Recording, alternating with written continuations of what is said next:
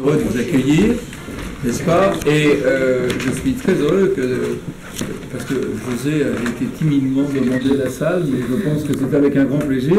Il faut savoir qu'elle était, n'est-ce pas, euh, à la Chambre en 92, et elle l'a jamais quitté, puisqu'elle est toujours là, en membre associé, n'est-ce pas?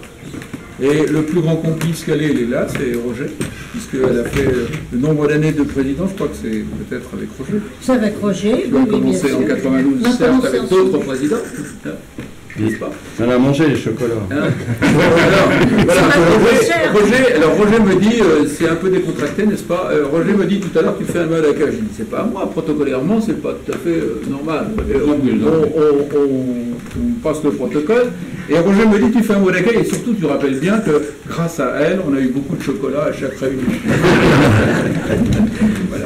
Tu vois le souvenir que- Vous êtes pas Non, mais- malade, c'est alors, alors, alors, Roger parle des chocolats, moi je vais parler du travail que tu as fait, en deux mots simplement, c'est de dire que euh, tu as ramené toujours les coupures de journaux, ça je m'en souviens, en disant attention, il y a ça qui va se passer. Et ça rappelait à l'ordre tout le monde. J'en ai une dans mon sac, là. Ah ouais, on bosse pas là. Avec Déjà, on fait des importants continuer si tu veux bien.